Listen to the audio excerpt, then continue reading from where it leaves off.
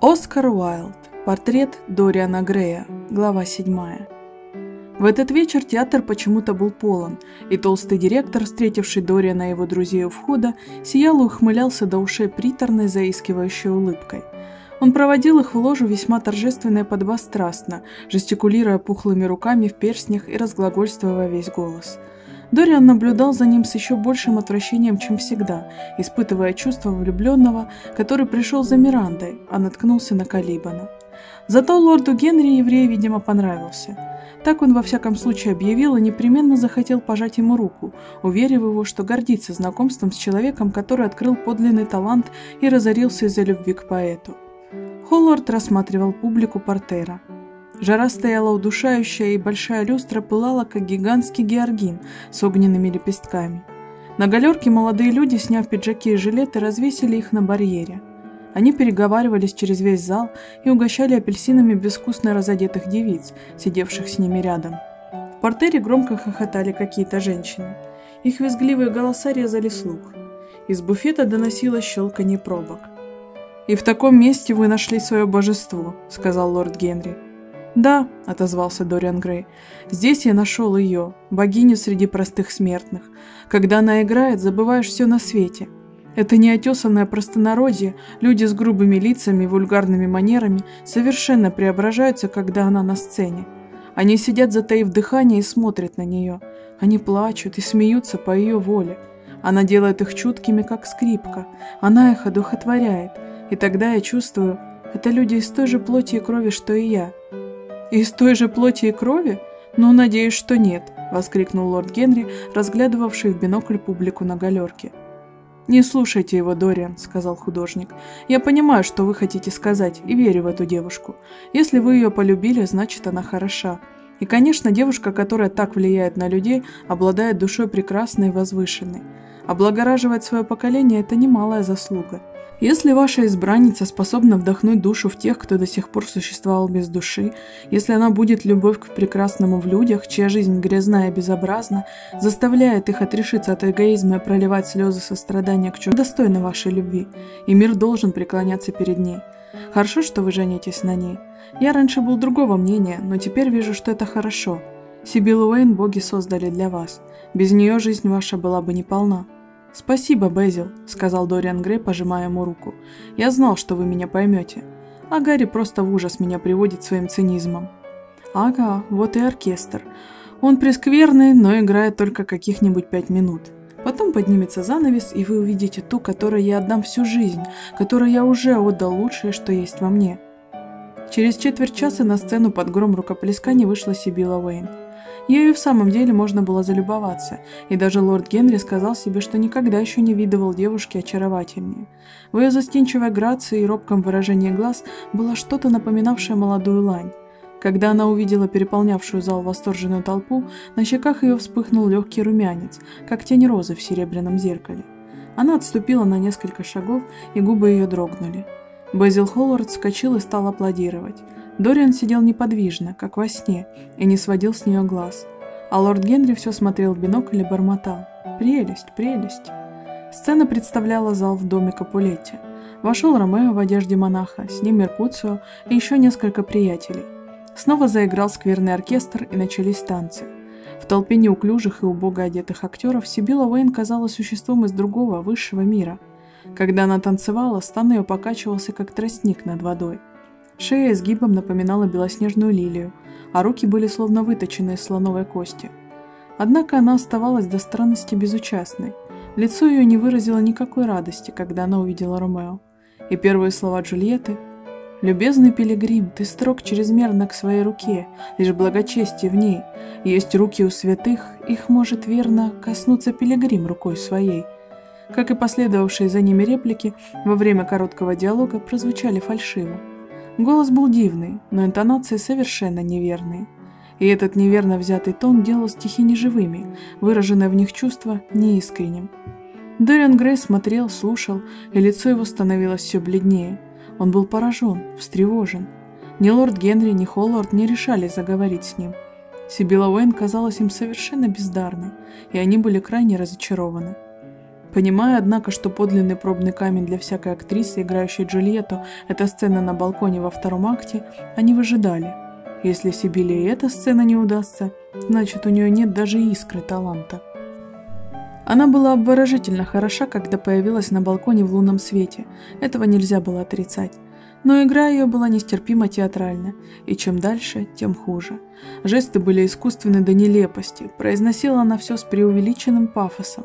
Великолепный монолог Мое лицо под маской ночи скрыто, но все оно пылает от стыда за то, что ты подслушал нынче ночью. Она произнесла с неуклюжей старательностью ученицы, обученной каким-нибудь второразрядным учителем декламации. А когда, наклонясь через перила балкона, дошла до следующих дивных строк – нет, не клянись. Хоть радость ты моя, но сговор наш ночной мне не на радость. Он слишком скор, внезапен, необдуман, как молния, что исчезает раньше, чем скажем мы «вот молния». О, милый, спокойной ночи. Пусть росток любви в дыхании теплом лета расцветет, цветком прекрасным миг, когда мы снова увидимся. Она проговорила их так механически, словно смысл их не дошел до нее. Этого нельзя было объяснить нервным волнением. Напротив, Сибила, казалось, вполне владела собой. Это была попросту очень плохая игра. Видимо, актриса была совершенно бездарна. Даже некультурная публика задних рядов и галерки утратила всякий интерес к тому, что происходило на сцене. Все зашумели, заговорили громко, послышались даже свистки. Еврей-антрепренер, стоявший за скамьями балкона, топал ногами и яростно бронился, и только девушка на сцене оставалась ко всему безучастна. Когда кончилось второе действие, в зале поднялась буря шиканья. Лорд Генри встал и надел пальто. «Она очень красива, Дориан», — сказал он, — «но играть не умеет. Пойдемте». «Нет, я досижу до конца», — возразил Дориан резко и с горечью. «Мне очень совестно, что вы из-за меня потеряли вечер, Гарри. Прошу прощения у вас обоих». «Дорогой мой, мисс Уэйн, наверное, сегодня нездорова», — перебил его Ховард. «Мы придем как-нибудь в другой раз». «Хотел бы я думать, что она больна», — возразил Дориан. «Но вижу, что она просто холодна и бездушна. Она совершенно изменилась. Вчера еще она была великой артисткой, а сегодня только самая заурядная средняя актриса. Не надо так говорить о любимой женщине, Дориан. Любовь выше искусства».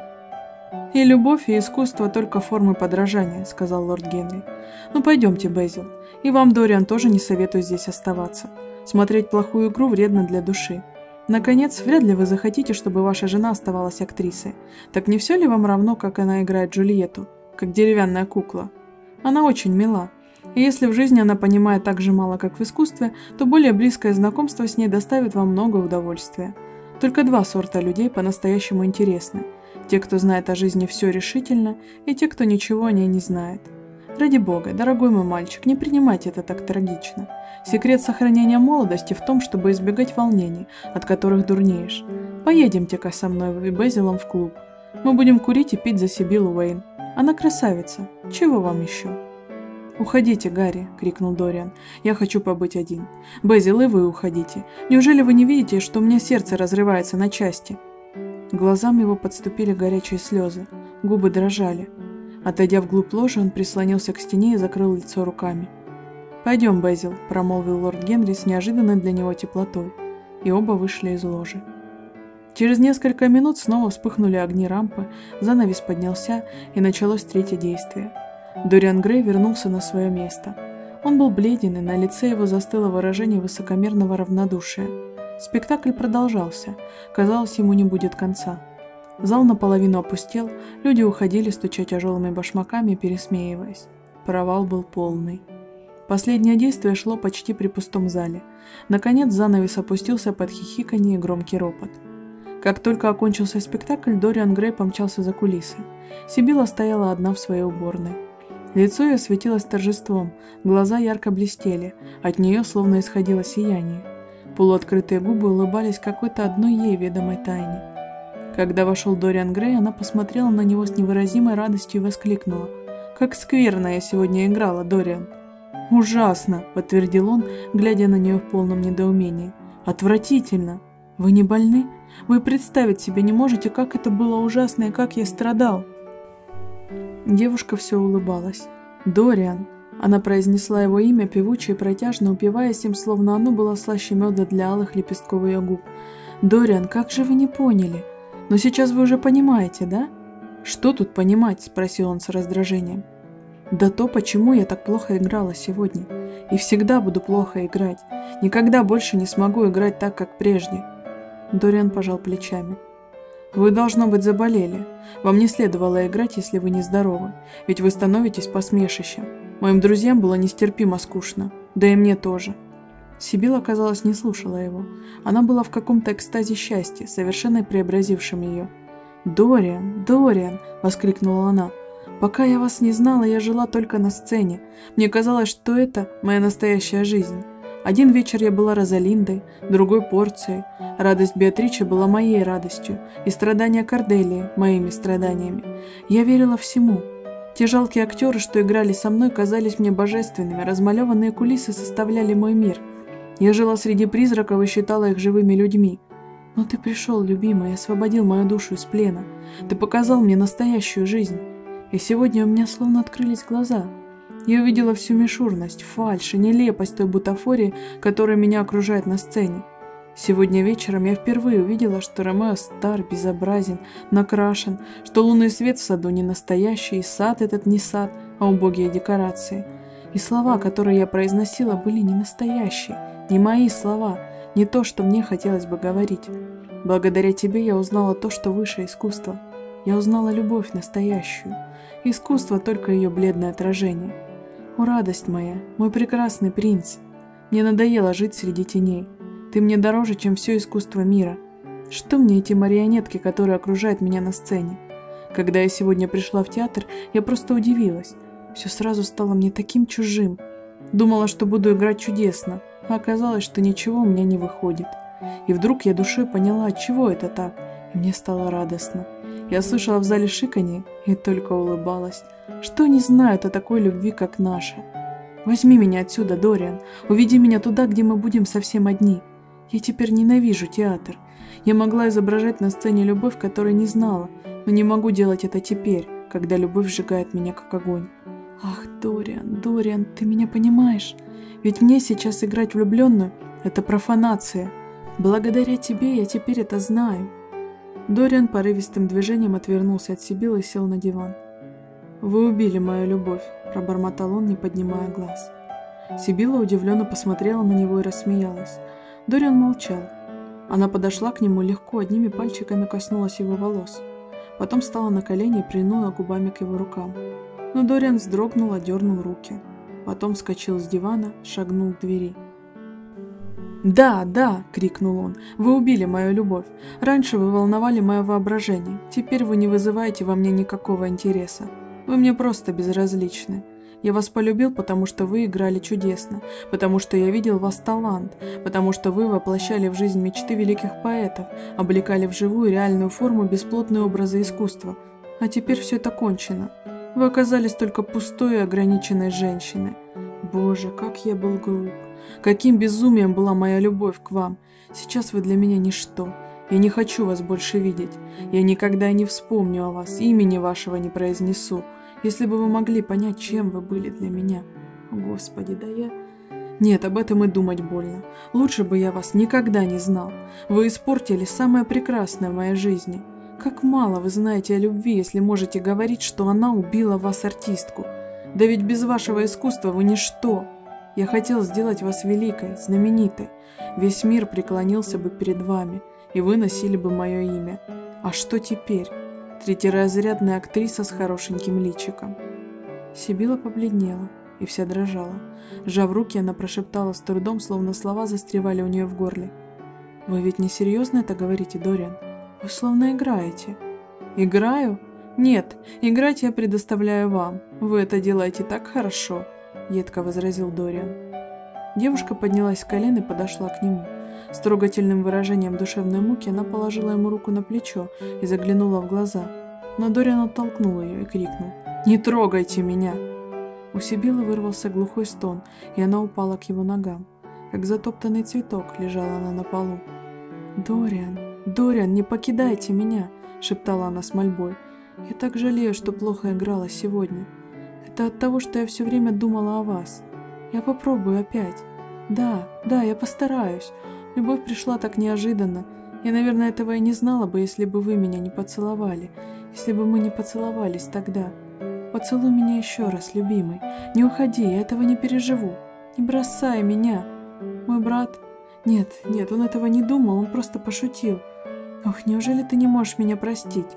Я буду работать изо всех сил и постараюсь играть лучше. Не будь ко мне жесток. Я люблю тебя больше всего на свете. Ведь я только раз не угодила тебе. Ты, конечно, прав, Дориан. Мне не следовало забывать, что я артистка. Это было глупо, но я ничего не могла с собой поделать. Не покидай меня, Дориан, не уходи. Захлебываясь бурными слезами, она корчилась на полу, как раненое животное, а Дориан Грей смотрел на нее сверху с усмешкой высокомерного презрения на красиво очерченных губах. В страданиях тех, кого разлюбили, всегда есть что-то смешное. И слова, и слезы Сибилы казались Дорину нелепо мелодраматичными и только раздражали его. «Ну, я ухожу», — сказал он, наконец, спокойно и громко. «Не хотел бы я быть бессердечным, но я не могу больше встречаться с вами. Вы меня разочаровали». Сибила тихо плакала, ничего не отвечала, но подползла ближе. Она как слепая протянула вперед руки, словно ища его. Но он отвернулся и вышел. Через несколько минут он был уже на улице. Он шел, едва осознавая, куда идет. Смутно вспоминалось ему потом, что он бродил по каким-то плохо освещенным улицам мимо домов зловещего вида, под высокими арками, где царила черная тьма. Женщины с резким смехом, хриплыми голосами зазывали его. Шатаясь, брели пьяные, похожие на больших обезьян, бормоча что-то про себя или грубо ругаясь. Дориан видел жалких, заморенных детей, прикорнувших на порогах домов, слышал пронзительные крики и брань, доносившиеся из мрачных дворов. На рассвете он очутился вблизи Ковенгардена. Мрак рассеялся, и пронизанное бледными огнями небо сияло над землей, как чудесная жемчужина. По словно отполированным мостовым еще безлюдных улиц медленно громыхали большие телеги, полные лилий, покачивавшихся на длинных стеблях. Воздух был напоен ароматом этих цветов. Прелесть их утоляла душевную муку Дориана. Шагая за вазами, он забрел на рынок, стоял и смотрел, как их разгружали. Один возчик в белом балахоне предложил ему вишен. Дориан поблагодарил и стал рассеянно есть их, удивляясь про себя тому, что возчик отказался взять деньги. Вишни были сорваны в полночь, и от них словно исходила прохлада лунного света. Мимо Дориана прошли длинной вереницы мальчики с корзинами полосатых тюльпанов и желтых и красных роз, прокладывая себе дорогу между высокими грудами нежно-зеленых овощей. Под портиком между серыми залитыми солнцем колоннами слонялись простоволосые обтрепанные девицы. Другая группа их теснилась у дверей кафе на пьяце.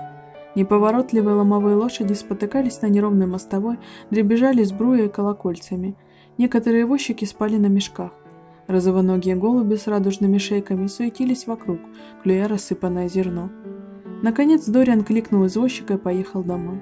Минуту-другую он постоял в дверях, озирая тихую площадь, окна домов, наглухо закрытые ставнями или пестрыми шторами. Небо теперь было чистейшего опалового цвета, и на его фоне крыши блестели, как серебро. Из трубы соседнего дома поднималась тонкая струя дыма, и лиловатая лента ввелась в перламутровом воздухе. В большом золоченом венецианском фонаре, некогда похищенном, вероятно, с гондолы какого-нибудь дожа и висевшем теперь на потолке в просторном холле с дубовыми панелями, еще горели три газовых рожка, мерцая узкими голубыми лепестками в обрамлении белого огня. Дориан погасил их и, бросив на столик шляпу и плащ, прошел через библиотеку к двери в спальню, большую восьмиугольную комнату в первом этаже, которую он в своем новом увлечении роскошью недавно отделал заново и увешал стены редкими гобеленами времен Ренессанса, найденными на чердаке его дома в Селби. В ту минуту, когда он уже взялся за ручку двери, взгляд его упал на портрет, написанный Безилом Холвардом. Дориан вздрогнул и отступил, словно чем-то пораженный, затем вошел в спальню. Однако, вынув бутоньерку из петлицы, он остановился в нерешительности. Что-то его, видимо, смущало. В конце концов он вернулся в библиотеку и, подойдя к своему портрету, долго всматривался в него. При слабом свете, затененном желтыми шелковыми шторами, лицо на портрете показалось ему изменившимся. Выражение было какое-то другое. Складки рта чувствовала жестокость. Как странно. Отвернувшись от портрета, Дориан подошел к окну и раздвинул шторы. Яркий утренний свет залил комнату и разогнал причудливые тени, прятавшиеся по сумрачным углам. Однако в лице портрета по-прежнему заметна была какая-то странная перемена, она даже стала явственней. В скользивших по полотну ярких лучах солнца складка жестокости у рта видна была так отчетливо, словно Дориан смотрелся в зеркало после какого-то совершенного им преступления.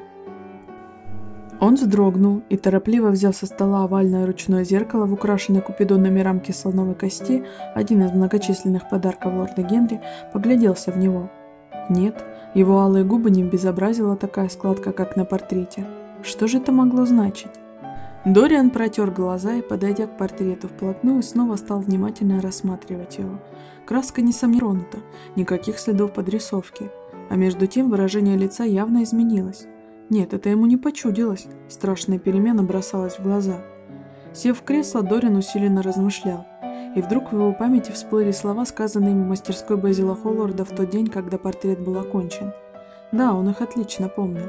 Он тогда высказал безумное желание, чтобы портрет старел вместо него, а он оставался вечно молодым, чтобы его красота не поблекла, а печать страстей и порока вложилась на лицо портрета. Да, он хотел, чтобы следы страданий и тяжких дум разделили лишь его изображение на полотне, а сам он сохранил весь нежный цвет и прелесть своей, тогда еще впервые осознанной юности. Неужели его желание исполнилось? Нет, таких чудес не бывает. Страшно даже и думать об этом. А между тем, вот перед ним его портрет со складкой жестокости у губ. Жестокость? Разве он поступил жестоко? Виноват во всем не он, виновата Сибила. Он воображал ее великисткой и за это полюбил. Она его разочаровала. Она оказалась ничтожеством, недостойным его любви. Однако сейчас он безграничной жалостью вспомнил ту минуту, когда она лежала у его ног и плакала, как ребенок. Вспомнил, с каким черствым равнодушием смотрел тогда на нее. Зачем он так создан? Зачем ему дана такая душа? Однако разве и он не страдал? За те ужасные три часа, пока шел спектакль, он пережил столетия терзаний, вечность мук. Его жизнь уж во всяком случае равноценна ее жизни. Пусть он ранил Сибилу навек, но и она на время омрачила его жизнь. Притом женщины переносят горе легче, чем мужчины. Так уж они созданы. Они живут одними чувствами, только ими и заняты. Они и любовников заводят лишь для того, чтобы было кому устраивать сцены. Так говорит лорд Генри, а лорд Генри знает женщин. К чему же тревожить себя мыслями о Сибиле Уэйн? Ведь она больше для него не существует. Но портрет? Как тут быть? Портрет хранит тайну его жизни и может всем ее поведать. Портрет научил его любить собственную красоту. Неужели тот же портрет заставит его возненавидеть собственную душу? Как ему и смотреть теперь на это полотно? Нет, нет, все это только обман чувств, вызванный душевным смятением. Он пережил ужасную ночь, вот ему и мерещится что-то. В мозгу его появилось то багровое пятнышко, которое делает человека безумным. Портрет ничуть не изменился, и воображать это просто сумасшествие. Но человек на портрете смотрел на него жестокой усмешкой, портившей прекрасное лицо. Золотистые волосы сияли в лучах утреннего солнца, голубые глаза встречались с глазами живого Дориана. Чувство беспредельной жалости проснулось в сердце Дориана, жалости не к себе, а к своему портрету. Человек на полотне уже изменился и будет меняться все больше. Потускнеет золото кудри и сменится сединой. Увянут белые и алые розы юного лица. Каждый грех, совершенный им, Дорианом, будет ложиться пятном на портрет, портя его красоту. Нет, нет, он не станет больше грешить. Будет ли портрет меняться или нет, все равно этот портрет станет как бы его совестью. Надо отныне бороться с искушениями и больше не встречаться с лордом Генри, или, по крайней мере, не слушать его опасных, как тонкий яд речей, которые когда-то в саду Безила Холлорда впервые пробудили в нем Дориане жажду невозможного. И Дориан решил вернуться к Сибили Уэйн, загладить свою вину. Он женится на Сибили и постарается снова полюбить ее. Да, это его долг. Она, наверное, сильно страдала, больше, чем он. Бедняжка. Он поступил с ней как бессердечный эгоист. Любовь вернется, они будут счастливы, а жизнь его Сибила будет чиста и прекрасна. Он встал с кресла и с содроганием взглянул последний раз на портрет, заслонил его высоким экраном. «Какой ужас!» – пробормотал он про себя и, подойдя к окну, распахнул его. Он вышел в сад на лужайку и жадно вдохнул всей грудью свежий утренний воздух. Казалось, ясное утро рассеяло все темные страсти, и Дориан думал теперь только о Сибиле. В сердце своем он слышал слабый отзвук прежней любви – он без конца твердил имя возлюбленной, и птицы, заливавшиеся в росистом саду, как будто рассказывали о ней цветам.